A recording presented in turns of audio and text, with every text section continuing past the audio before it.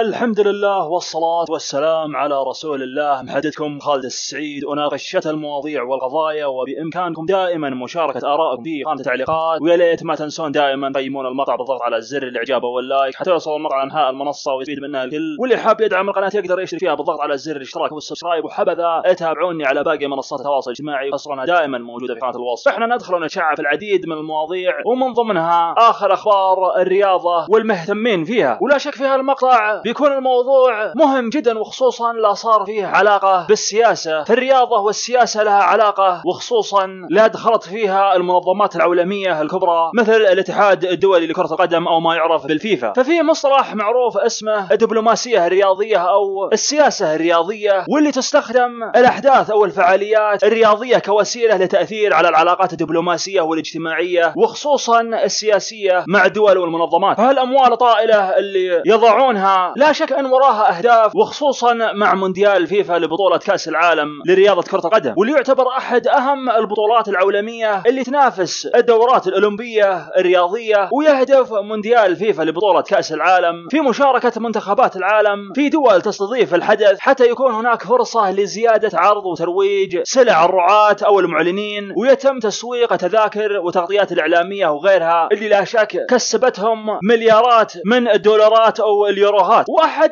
الدول اللي تبي تستضيف مونديال فيفا لكأس العالم وهي دولة قطر بعد ما حصل تنظيم الحمدين في قطر على هالمونديال وهو مونديال فيفا لبطولة كأس العالم أو ما يعرف بمونديال قطر 2022 واللي لا تزال فضايح تنظيم الحمدين مستمرة وخصوصا اللي سبق وبيناها في القناة وأظهرت الرشاوي اللي وصلت لكبار رؤساء الفيفا أو الاتحاد الدولي لكرة القدم وتعدت حتى الرشاوي لتصل لشركات إعلامية ضخمة وليس ذلك فحسب بل حتى وصلت إلى شبكات جماعات الاختراق حتى تصل للأشخاص المؤثرين واللي بيدهم القرار. فقبل أيام شدد جوزيف بلاتر الرئيس السابق للاتحاد الدولي لكرة القدم المعروف باسم فيفا واللي كان تشديده على اللجنة التنفيذية واللي ما كان لها رغبة في فوز دولة قطر بتنظيم كأس العالم 2022 واللي لدرجة أنهم حتى يقيمون مونديال فيفا لكأس العالم في قطر. تم تغيير التوقيت وحتى الشهور واللي يذكر أنهم بيجعلونه في نوفمبر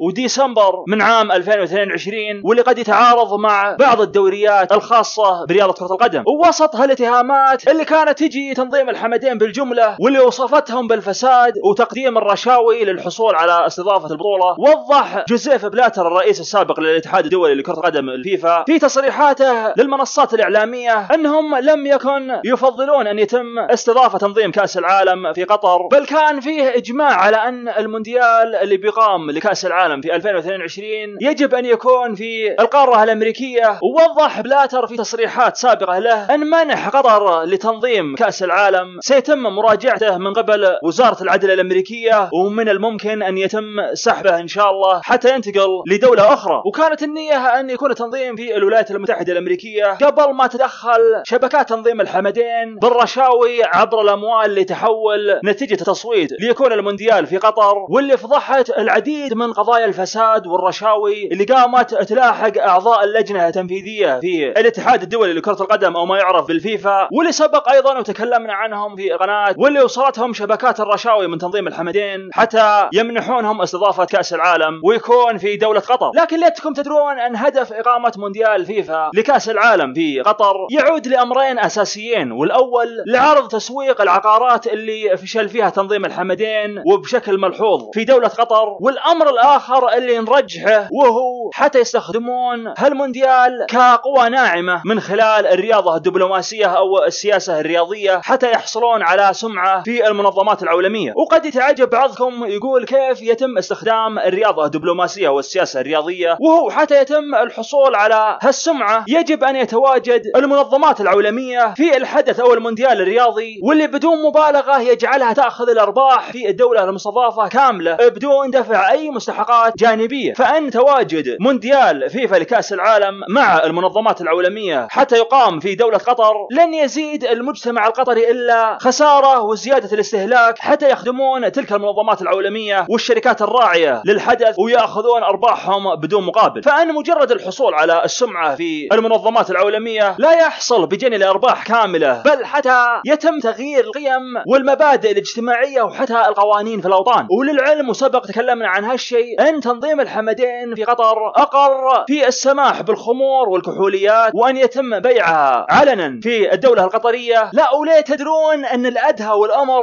أنهم سمحوا في الشذوذ الجنسي. وسبق تكلمنا ان هناك فرق بتلعب بزي حتى تحتفل بتقنينهم للشذوذ الجنسي وسماحهم بهالقوانين. ولا يظن البعض أن السمعة بتتوفر بعد ذلك فأن العديد من الدول اللي استضافت مونديال فيفا لكأس العالم ما حظت بأي نفوذ حتى يومكم هذا أو حتى سمعة. ولا شك أن دور السلبي في إقامة مونديال كأس العالم في قطر بالذات يدور حول بناء الملاعب واللي بيكون حمل على المجتمع القطري وبالذات أنهم غالب المجتمع القطري غير مهتم في رياضة كرة القدم والأسوأ من ذلك كله أنه بعد الانتهاء من مونديال كأس العالم سيتم تكبيد المجتمع القطري بخسائر طائلة وخصوصا من ناحية أسعار العقار اللي لا شك ولا ريب راح ترتفع بطبيعة الحال. ويذكر أن هناك مخططات من بعض الشركات اللي مشرفه على الملاعب. أنها ناوية تفك العديد من المعدات واللي من الممكن أنها تبيعها مجددا للدول الأخرى. وهذا يدل أن الملاعب أيضا لن يتم الاستفادة منها وخصوصا بعد ما ينتهي مونديال كأس العالم. ولا شك للي مطلع الموضوع ما خفى عليه كثرة الانتهاكات والاستغلال اللي كان على العمالة اللي جالسين يبنون تلك الملاعب واللي حتى يومكم هذا ما عوضوا العديد منهم بمستحقاتهم بعد عملهم في بناء تلك الملاعب. وحتى بعض الفنادق واللي تمت مقاطعة العديد من الفعاليات القطرية من بعض الشركات والمؤسسات بعد ما انفضحوا حتى التزمت الحكومة القطرية في إعادة إصلاحات في الأنظمة الخاصة بالعمل واللي كانت ولا تزال حتى يومكم هذا تماطل فيها الحكومة القطرية منذ سنوات عديدة. فظهرت تقارير تفضح الحكومة القطرية وأرباب الأعمال اللي يستغلون العمالة الأجنبية لساعات طويلة وبدون أجر وصل بعضهم لأكثر من ست شهور خاصة تلك العمالة في ملاعب منشآت كأس العالم لمونديال. 2022 واللي تم وصفهم بمعاملتهم لهالعماله انهم جالسين يستعبدونهم؟ وان الحكومة القطرية لم تنفذ التزاماتها أمام منظمة العمل الدولية واللي كانت تطالبهم من عام 2017 وكانت ضمن المطالبات اللي أصرت عليها منظمة العمل الدولية بحماية العمال الوافدين من انتهاكات الأجور وعليهم إلغاء نظام الكفالة اللي يربط تأشيرات العمل الاجانب بأصحاب العمل. وحتى تلتها العديد من التقارير والحالات اللي وجدت حتى منظمات إنسانية مثل الهيومن رايتس واتش انتهاكات الحكومة القطرية في إعطاء أجور غير كاملة وفي العديد من الوظائف من ضمنها حراس الأمن وعمال المطاعم والمقاهي وحتى حراس النوادي الليلية وعمال النظافة وأيضا عمال البناء. ولا ننسى أيضا العمال اللي أيضا اشتغلوا في ملاعب منشآت كأس العالم لمونديال 2022 وما زالت الحكومة القطرية تضرب أسوأ الأمثلة في معاملة العمال الوافدين على أراضيها وتركت الباحثين عن الرزق فريسة للظروف واللي كانت آخرها تفشي وباء حزب الصين الشيوعي أو ما يعرف بفيروس كورونا الجديد واللي قامت تتكالب الأزمات على العمالة الأجنبية الوافدة في الدولة القطرية خاصة أن العديد من العاملين في ملاعب منشآت كأس العالم لمونديال 2022 كان أبرزها تهرب أرباب الأعمال من دفع الأجور والعديد من المطالبات الحقوقية اللي كانت مرتبطة بمكان الإقامة وعلى كثرة التقارير اللي ترسل للاتحاد الدولي لكرة القدم أو ما يعرف بالفيفا فكان يدعي أنه يحارب أي شبهات ضد حقوق الإنسان في مختلف المتطلبات اللي تخص العطاءات وتحضير وحتى الاستضافة لجميع بطولات فيفا وغيرها. إلا أن اكشفوا العديد من المراسلين والباحثين أن الحكومة القطرية تخفي العديد من الانتهاكات وخصوصا أمام الممثلين الرسميين في الاتحاد الدولي لكرة القدم أو ما يعرف بالفيفا. وبعد ما زادت الانتهاكات والفضائح اللي تطلع على تنظيم الحمدين في قطر أقر النظام القطري مؤخرا قوانين عمل جديدة وخصوصا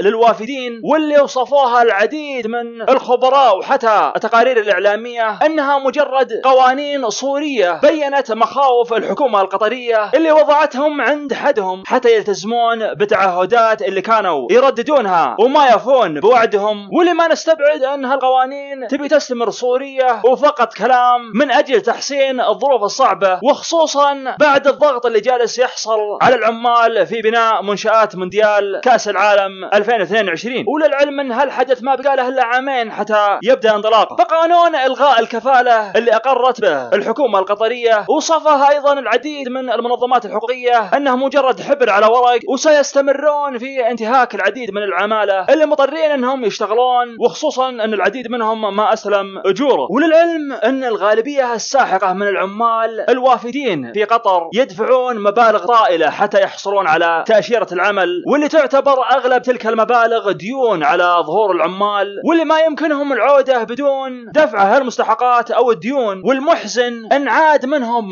مصاب والآخر متوفي والحكومة القطرية بدون مبالغة ما عوضتهم ولا حتى أسرهم وخصوصا للي توفوا. وإن رجعنا لموضوع خطه إلغاء نظام الكفالة فلعلمكم لها أكثر من ست سنوات يعني من عام 2014 وهم ناويين يبدون فيه واستمرت المماطله مع الحكومة القطرية وما قامت تنفذ أي التزامات وخصوصا بعد الضغط الهائل اللي عليهم من المنظمات في عام 2017 بحماية العمال الوافدين من انتهاكات وعدم تسديد الأجور وخصوصا نظام الكفالة اللي كان لابد إنهم يلغونه لأنه كان مرتبط بتأشيرات العمال الأجانب بأصحاب العمل أو الشركات اللي يعملون معهم. واللي طالت هالانتهاكات وتأخر الأجور وعدم تسديدها للعمال في وظائف عديدة واللي وضع هالعمال الوافدين بين نارين. أما أنهم يعودون بدون أي مبالغ ودفع مستحقات وخصوصا أن العديد منهم متأخر لشهور طويلة وصارت الاكثر من ست شهور أو أنهم يخضعون في تكملة العمل مع دفع الأجور المتدنية وبشكل مجزأ بدلا من إعطاء المستحقات كاملة لعلهم ينجزون ويعودون لأوطانهم. ولا شك ولا ريب أن اللي جالس يحصل